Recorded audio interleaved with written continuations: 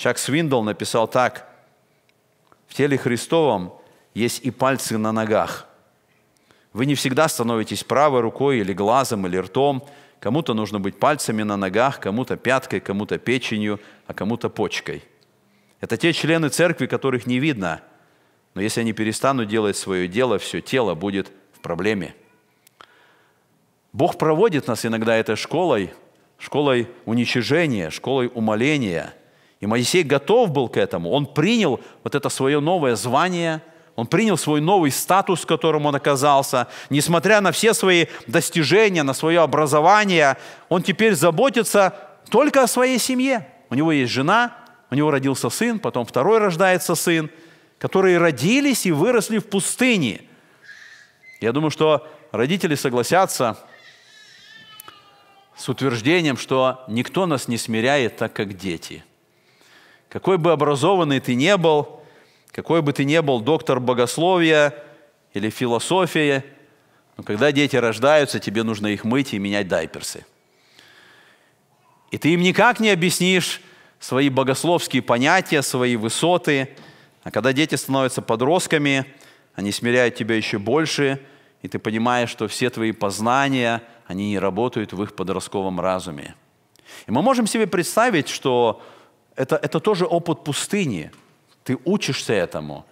Когда вот эти два мальчишки росли там в пустыне, Моисею нужно было быть с ними, воспитывать их, учить их, работать с ними.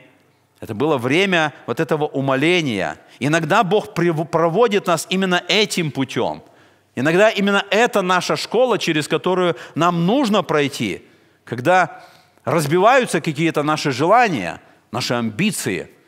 У нас в церкви много, может быть, разных амбиций когда есть желание быть на сцене, быть за кафедрой, быть за микрофоном, когда есть желание, чтобы тебя видели на Ютубе, на Инстаграме, когда все смотрят на тебя, когда все слушают тебя.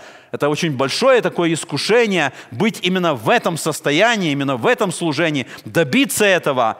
Но когда Бог проводит нас вот этой школой уничижения, мы понимаем, что у Бога есть свой путь. Этот путь, когда нам нужно отказаться от вот этого желания быть признанными, быть авторитетными, быть знаменитыми. И когда мы готовы, когда Бог проводит нас этим путем, вот тогда Господь приготавливает нас к тому, что Он определил. Тогда Бог готовит нас к тому служению, которое Он желает дать нам. Не мы сами пытаемся что-то завладеть и захватить. Бог готовит нас, чтобы дать нам это служение, которое Он желает – Возможно, с микрофоном, а возможно и без микрофона. Возможно, здесь на сцене, а возможно, вне сцены. Но Бог готовит нас, чтобы мы делали то дело, которое Он желает, чтобы мы выполняли. Он проводит нас этой школой уничижения. И мы видим, что для Моисея это была школа, в которой он эти 40 лет получал эти образования. Все 40 предыдущие лет он получал вот это, эту амбицию значимости – когда он достигал этого зенита своей славы.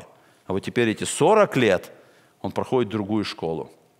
До этого он учился, как отдавать приказы, он учился, что когда он встает, все встают, когда он поднимает руку, все слушают, все подчиняются, все покоряются. А теперь по-другому. А теперь овцы, они не такие. Они не сильно слушают его познания – Ему нужно смирение, ему нужно умоление, ему нужно проходить вот этот период.